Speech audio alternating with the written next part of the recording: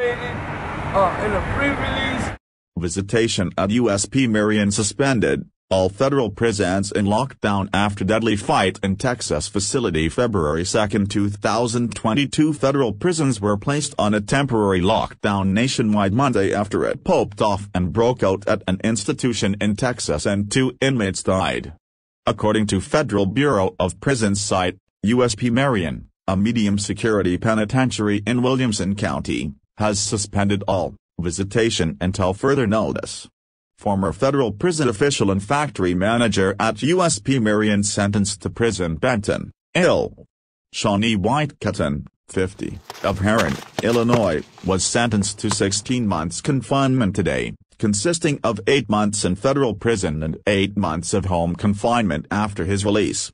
At his sentencing, United States District Court Judge Staci M. Yandle agreed with federal prosecutors that White Cut unknowingly obtained thousands of dollars by abusing his management position at the federal penitentiary at Marion, Illinois, USP Marion, lied about it, and then obstructed justice while trying to cover up his scheme. A federal prison guard in Illinois has been caught in an FBI sting targeting those seeking to have sex with minors, charging documents say wife Madas Hell Christopher David Emery was charged by complaint in U.S. District Court in Benton, Illinois, with the felony, attempted enticement of a minor. R. Kelly S. Emery met an undercover FBI employee online last week, the charges say, and eventually told her that he is 48 and works for the federal penitentiary in Marion, Illinois. The FBI employee listed her age online as 18 but told Emery, that she was actually 14, charging documents show.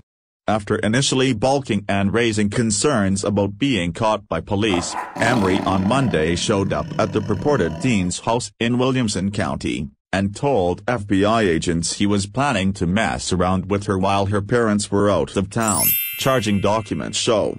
As fact. In October 22, 1983, inmates aligned with the Aryan Brotherhood, prison gang murdered two corrections officers at the United States Penitentiary near Marion, Ill. The reverberations from those killings are still being felt in the American prison system. The murders sent Marion into lockdown for 23 years, ushered in the era of the modern supermax prison, and normalized the real idea that the only rational way to deal with violent or notorious prisoners is to lock them up in small, isolated cells and throw away the key.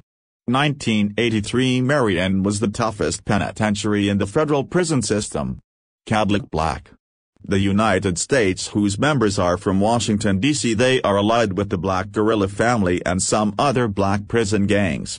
The Aryan Brotherhood is one of their main rivals. 1. The D.C. blacks make up one of the largest single ethnic groups in the overall federal prison population by 10%. 2. They are known for being well-educated in violence, improvised prison weapons, petty theft, and rape from their time spent at Lorton, a D.C. penitentiary. Although the D.C. blacks are one of the largest prison gangs within penitentiaries, they are small compared to the gangs outside of the prison system, such as the Bloods and the Crips. Just some info The maximum security complex housed some of the country's most violent inmates, and the worst of those were put in Marion's control unit. Getting placed in the control unit was akin to being buried alive. Inmates were confined to their small cells for almost 23 hours a day. When they left their cells, they were shackled, guarded, and under constant surveillance. The conditions there echoed the commandant's line in The Great Escape, we have, in effect, put all our rotten eggs in one basket and we intend to watch that basket very carefully. Thomas Silverstein and Clayton Fountain were two of those prisoners who bore watching. In 1981 Silverstein and Fountain were charged with killing a black inmate named Robert Chappelle in the Marion Control Unit.